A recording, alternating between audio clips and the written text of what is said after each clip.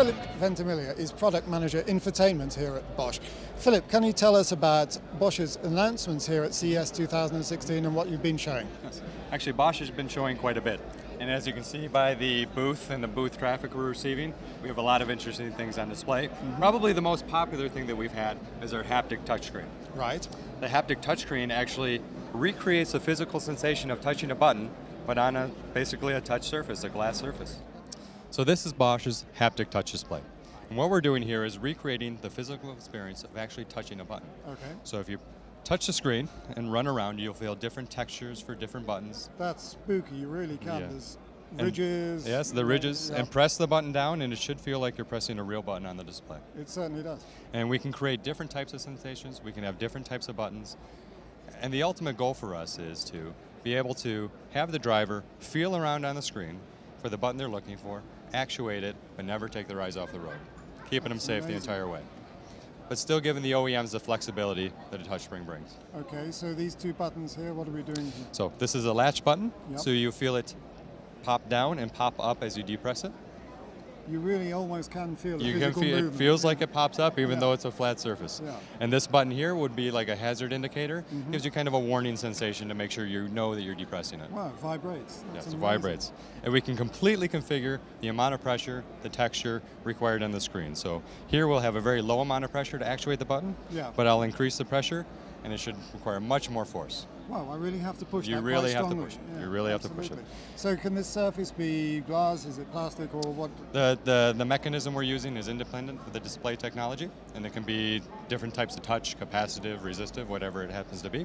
And it's independent of the display size as well. So Bosch is really looking to support OEMs uh, and bringing this into automotive in the next few years. That's pretty clever. It's very clever. And what we're trying to achieve with it is hopefully we can get to the point where you can find a button on the screen, touch it, and never actually have to look at the screen. So we keep your eyes on the road the entire time.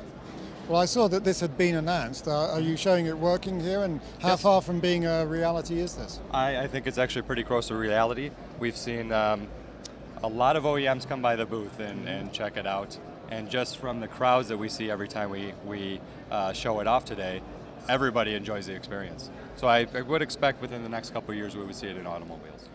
Okay, Phillip, we're now looking at MySpin. What's the latest uh, announcement as far as that's concerned?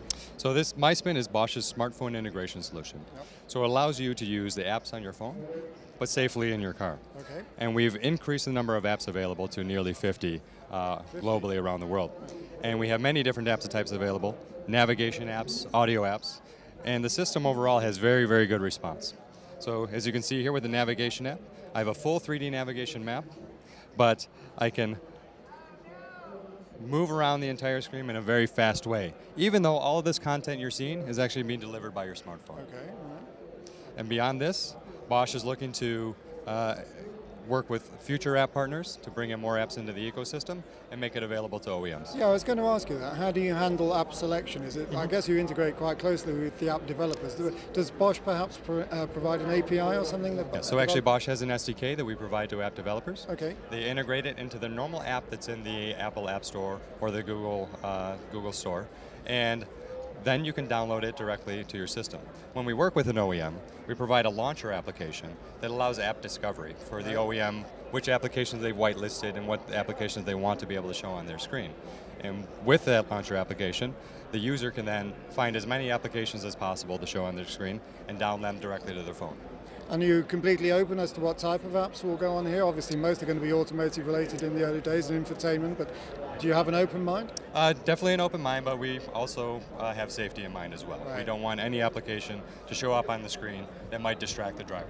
So we do have uh, several criteria that the app developers have to meet before we allow them into the ecosystem and into any car.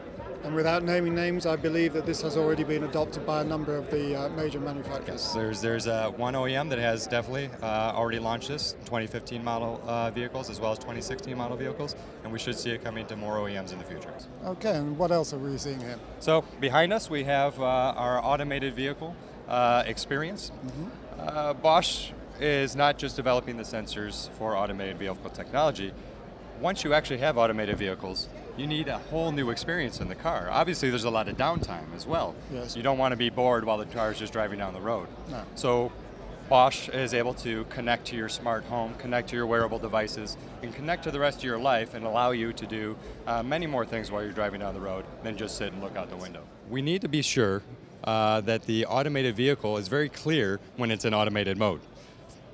Bosch has developed a solution where the driver hangs onto the steering wheel for a certain amount of time and then hands off control to the vehicle. And the driver is definitely aware that the vehicle is in control. The same, same process is used to give control back into manual mode. Another technology that Bosch is showing off here is that we feel that in an automated vehicle, maybe we can show visually to other vehicles that it's in an automated mode. So you'll see the car can represent itself with many different colors. And maybe the car is in automated mode and it shows a color green to other drivers around. And that way, you know that you're interacting with an automated vehicle on the road and you can take appropriate measures. So Bosch has uh, deep integration in this part of the industry, but I'm sure Bosch realizes, like every other company, that it's not just a case of developing the technology. Exactly. There are many other factors that need to be brought into play. Exactly. How long do we really think it's going to be until automated, fully automated cars are on the roads? It's definitely going to be stepwise. Yeah. So we will see the first steps, what we call semi-autonomous driving, where maybe the vehicle takes control in very specific situations, perhaps uh, the highway. But probably further out, we do feel that at some point in time, we will have fully door-to-door autonomous driving. All of the automotive OEMs are kind of in a race at the moment to bring in as much autonomous driving capability as possible.